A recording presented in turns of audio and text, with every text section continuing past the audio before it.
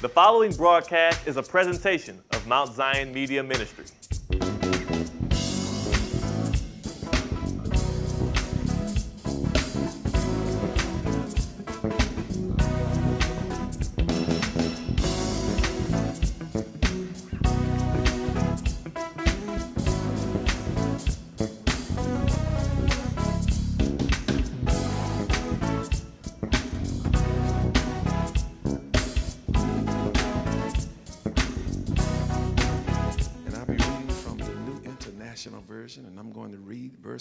1 through 5 uh, from the um, um, chapter 2 in the book of Revelation. Amen.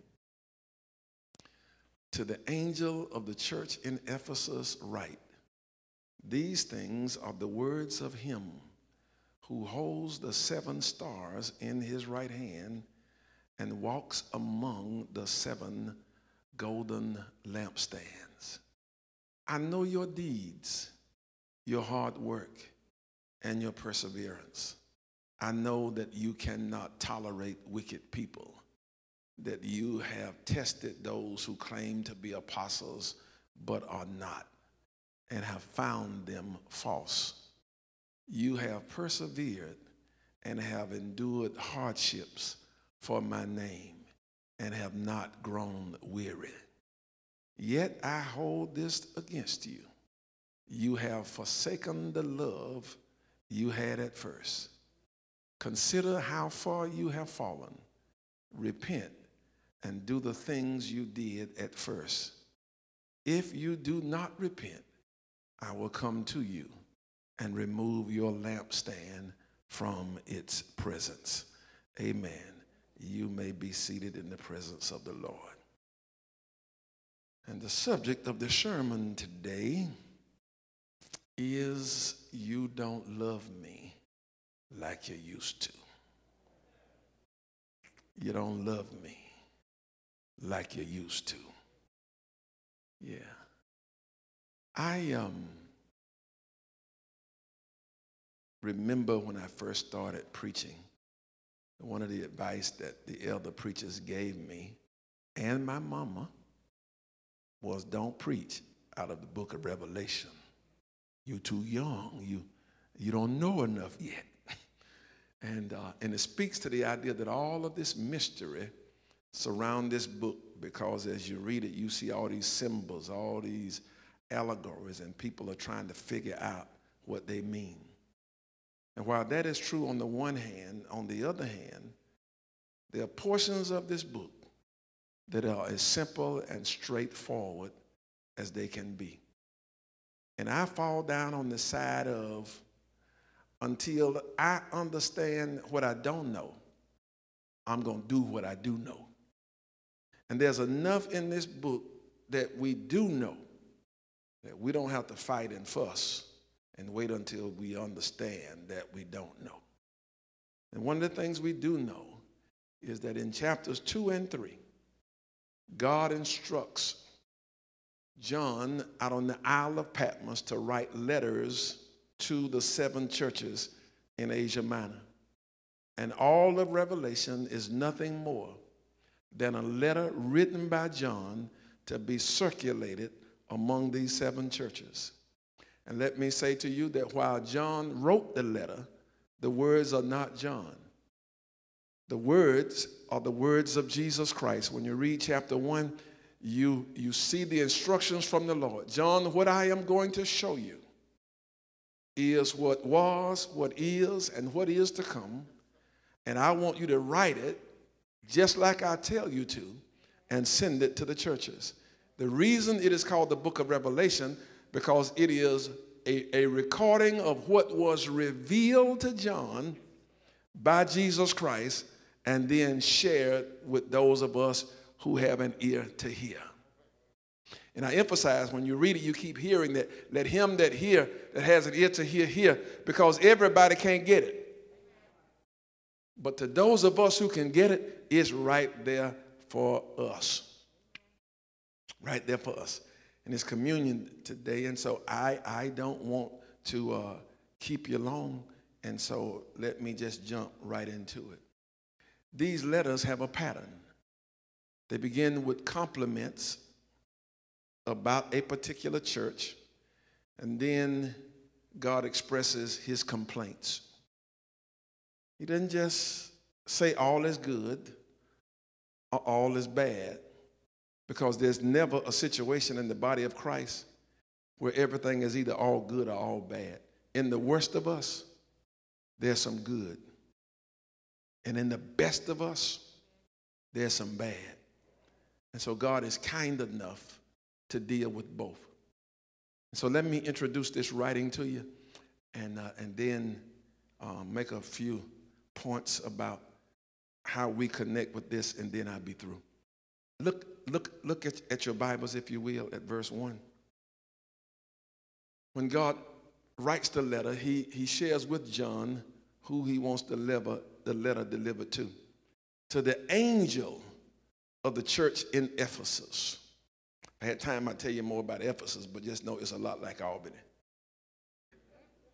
And, and so it's important that you understand who the letter is addressed to. The angel of the church represents not some angelic being, but it is a first century uh, term in the context of the language of, of the Christian community that day that represents the pastor, the overseer, or bishop, whichever name you want to use, of that local church. Ephesus has a senior pastor, and the letter is delivered to him. It wasn't delivered to the Sunday school superintendent or the teacher. It wasn't delivered to any particular ministry, deacon's ministry, deaconess ministry, to the ushers, to the musicians, to the minister. It is, it is sent to the senior pastor who is believed to be Timothy. And, and, and brothers and sisters, that speaks to the fact, Old and New Testament, God does not send instructions to committees. God does not send instructions to leaders who are not responsible for his whole church. Next thing I want you to notice this. These are the words of him who holds the seven stars in his right hand and walks among the seven candlesticks. Who, who, who is that? Well, if you go back to chapter 1 and verses uh, uh, 17 and 18, I'm, I'm sorry, 17, 18, 19, you will see who that is. Here it is. When I saw him, John is saying, when I saw him, the person who was talking to me, I fell at his feet as though dead. Then he placed his right hand on me and said, Do not be afraid. I am the first and the last. I am the living one. I was dead, and now look, I am alive forever and ever. And behold, the keys of death and Hades, I got them. And, and he's explaining now part of the vision that John saw. Told you there's a lot we don't know, but there's some stuff we know. We can go what we know. And, and look as he explains what John saw. He said, Write therefore what you have seen, what is now and what will take place. The mystery of the seven stars that you saw in my right hand, uh, and, and the seven golden uh, lampstands you saw me in the midst of, here it is. The seven stars are the seven angels, the pastors in my right hand. And then the seven lampstands, they are the seven churches. Now, go back to verse 1, and this is why it's important that you understand what that mystery is. God is saying, You tell the church at Ephesus that the one, me, first, the last, the beginning, the end, was dead, now alive, I am in the midst of your church. And I got your pastor in my hand. But not only do I need you to see him in my hand, but I need you to see that I am in your midst. I'm not up yonder. You ain't going to me by and by, but I am with you right now. That's going to be important in, a, in just a minute. Now look at verse 2. The compliments come. Listen, he says, I know your deeds. I know your work. I know your perseverance. I know that you cannot tolerate wicked people, that you have tested those who claim to be apostles but are not, and have found them false. Let me, let me, let me, let me just open that up for you. He says, Because I am in your midst, I really do know what you are doing. You don't have to tell me. I don't need to see the minutes of your meeting. In fact, I know what you do in the meeting, before the meeting, and after meeting. I know your deeds, and he's commending them. I know how hard you work. I see how you've been persevering and just toiling and laboring for me. And then I, I appreciate the fact that you don't tolerate wicked folk. Break that down, Pastor. I see how hard you work, but I also see how even in the church you got some wicked people who like to gossip, who like to talk trash, who like to just keep up mess, but you don't tolerate them. When they call you to talk about another member, you say, "Hold up, I don't, I don't do that." But if you insist on doing that, hold up, let me do a three-way call so the person you talking about can hear what you saying firsthand. Because I'm gonna try to tell them, but in case I get it wrong, let me just get them on the line. He said, I see you. You, you don't tolerate evil and wicked folk in their activities. Those of you that have people calling you with gossip and mess, they do that because they know you tolerate it. People know where the trash cans are. And they bring the trash to the trash can. There's stuff that I don't ever hear because folk, folk know better than bring the junk to me. And, and, and, and, and I have some, some standards. And, and so, for example, Ernest over there, see, I don't care if it's my mama. She can't talk to me about Ernest. So, mama, mama, you, you, you can't talk about Ernest like that.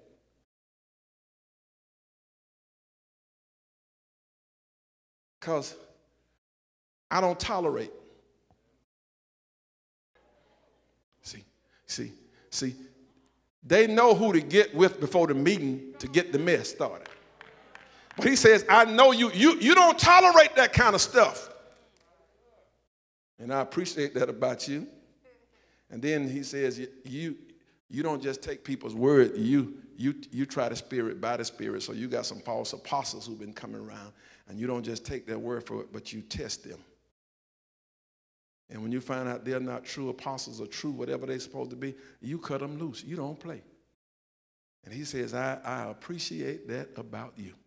And then verse 3, I understand that, uh, that, that serving me will cost you, but you have persevered. You've endured hardships for my name's sake. You've had to go through some st- stuff to serve me, but you endured it and you've not grown weary. And I appreciate that about you. Verse 4 But in spite of all of your work, you don't tolerate evil people, you don't, you know, testing these apart. But, I, but here's my complaint. Got one thing against you. You have forsaken the love you had for me at first. Ooh-wee. That's, that's, that's hard right, right there. Uh, and this is what he's saying you don't love me like you used to. He's saying that when you, maybe it was when, when they first came to him, when they first got saved, they loved him like he wanted to be loved. But he says, now you don't love me like you did at first. And I need you to repent and come back to loving me like you used to. Yeah. Let me say that again. You don't love me like you used to. I see the work you're doing and I applaud you, but I want something more than that. I want you to love me like I want to be loved.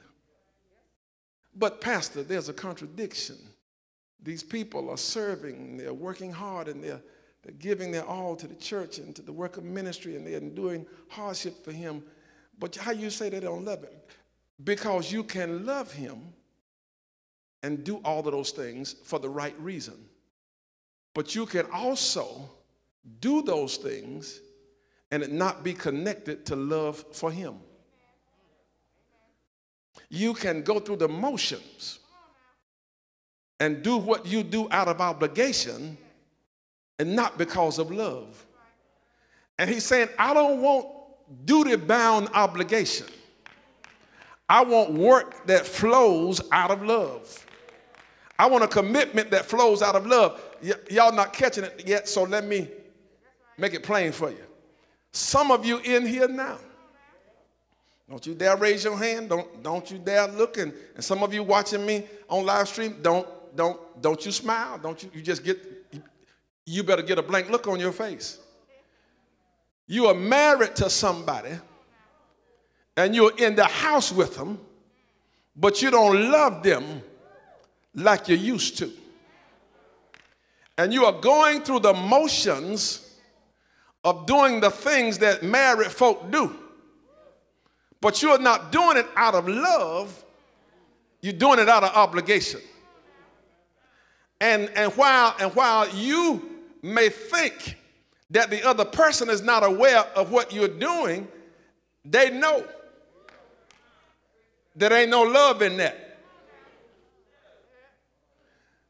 They know you're not coming home every night because you want to come home but you're only coming home out of obligation. In fact, the only reason you hadn't gone to divorce court is there's something in you that says, I'm supposed to stay here. And so you just staying out of obligation. There's, there's something in you. You're doing your wifely duties, but not because you want to. You're doing your husbandly duties, but it ain't because you want to. Yeah. Yeah. You making love based on the calendar. Hmm. Look at here. It's it been about. See that I, I marked it right there on the calendar. It been about two months right there. Good, time us do something now, ain't it? Make it plain, Sam. I'm, I'm, I'm trying my best.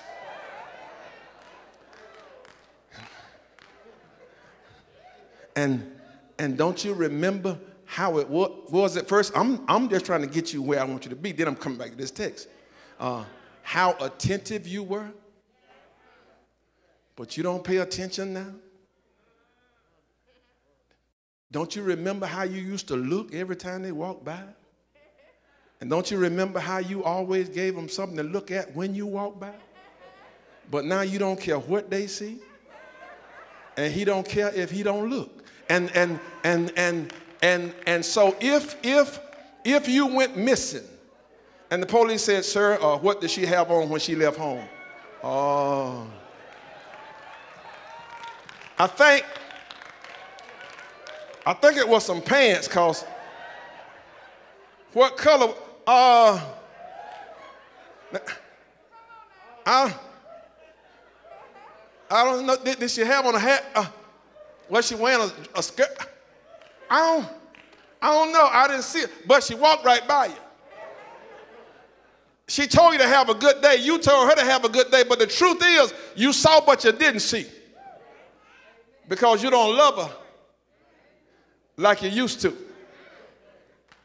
And she gave you nothing to remember because she don't love you like she used to.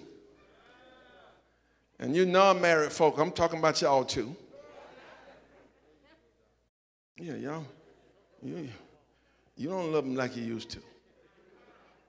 Yeah, you. Y'all don't want me to talk about you, do you? I, ain't gonna, I, I want to talk about you because I got to go, but yeah. But, but it's, it's clear it's clear when the love is gone. It's, it's, it's, it's a difference in, in the way you set that plate on the table when the love is there. there it is.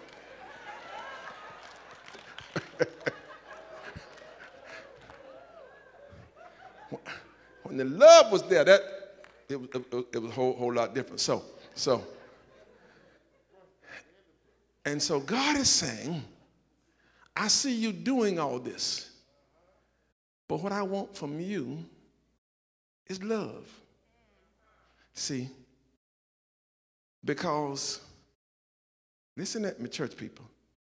You can do works and you end up loving the work, but not the one who called you to work. Why you preach so much? I just love preaching. I love singing. I love ushering. And so you're in love with the work, but not the one who called you to work. And, and, and, and that's not what it's supposed to be. Listen at my church folk. You, you can come to church out of obligation. Why are you going to church? Well, it's my time to usher. It's my time to sing. It's my time to be security. I got to preach today. I got. And so that's the only reason you're here. If you wasn't on duty or whatever that is today, come on, tell the truth. You wouldn't be here. The only thing brought you here is your work, whatever that is today. Not all of you, but some of you. But when you're in love, hmm, don't, don't care if you're on duty today or not, you're going to show up. Um, listen at verse 5. He said, Consider how far you fall and repent and do the things you did at first. If you do not repent, I will come to you and remove your lampstand from its place. Tell you something, people, it's dangerous to stop loving God. When he says to you, if you don't repent, if you don't change this thing, I'll come to you and remove the lampstand. Remember, the lampstand represents the churches. He's saying, I'll take this church away from you. And he's not talking about I'll take the building. He's not talking about I'll stop you from having church. But what he's saying is, I'll be gone. And the authority that has been given you to have a church in my name, you will lose that. And so you can still gather on Sunday and get the best singers and musicians in the world, get a decent preacher and all these ushers and go through the motion, but it's just that going through the motion because there's no power here. The person of Jesus Christ is not here, it's just us. And I don't know how you feel about it, but I don't want to be in a church with just us. I love all y'all, but I don't want to be in a church where it's just us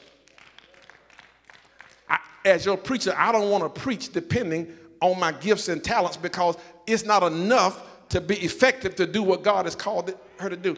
I believe we've got some of the most gifted singers in the world. I've said again, before I said again, I'll put them up against anybody, but I won't put them up against anybody if they don't have the anointing and the authorization of the Holy Ghost because that's where it come from.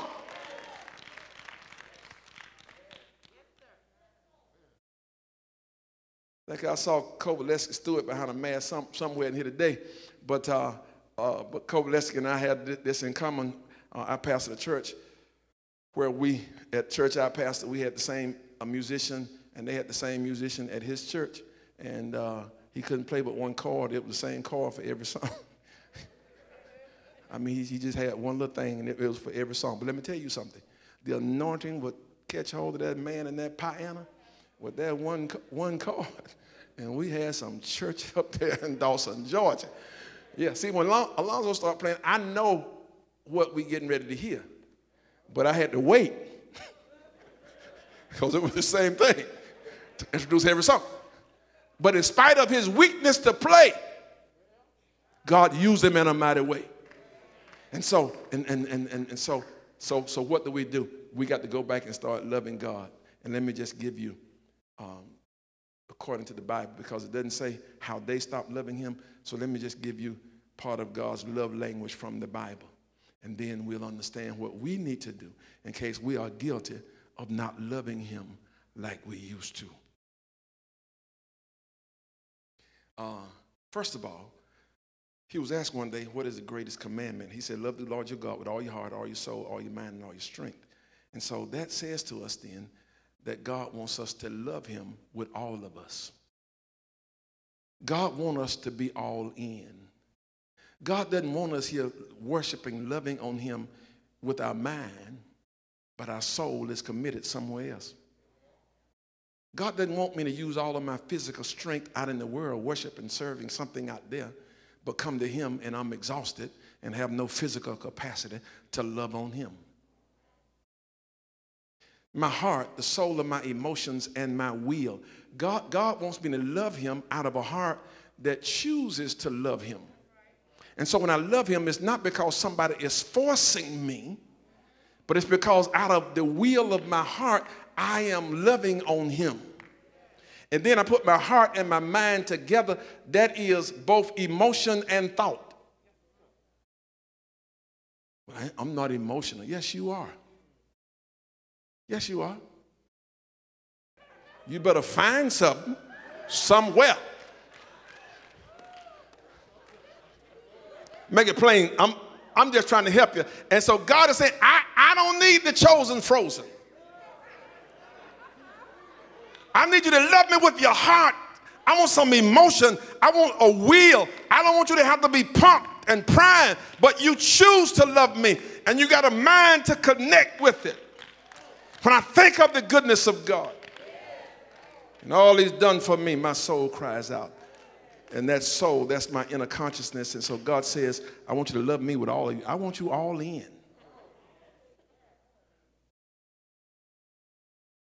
Then, and, and, and then in that same verse, Mark 12, 29, when he, when, he, when he talks about loving him with all, he says, the first of all commandment, which means God wants to be the priority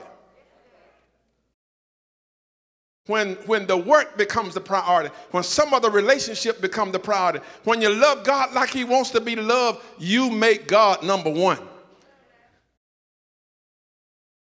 Nobody who's, you know, really together, you don't want to live all your life knowing that you're not a priority to the person who loves you. Somebody in here mad with their spouse now because it's clear you're not his priority. It's clear you are not her priority. Even the children, the children, uh, uh, uh, when they are young, these babies around here, when you get in their presence, they want to be your priority. If you put your attention anywhere else, they're saying, Come back, come back. I, I want to be number one. I want to be number one. And God is saying, I got to be number one. So if we're going to love Him, we got to love him with everything that we are. And then we got to give him the first place. Amen? All right, let me run through them fast. Uh, the next thing is when you love him, you long to be in his presence. David said, Psalm 42, 1, 2, as a deer pants for the streams of water, so my soul pants for you. My God, my soul thirsts for God, for the living God. When can I go meet God?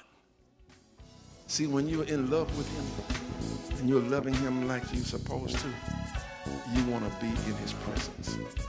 It doesn't matter if you're singing, preaching, or praying, or working or not. When you come to worship, you just want to be in the presence of the Lord. You want to be close to Him. Thanks for watching. Be blessed and continue walking in the light.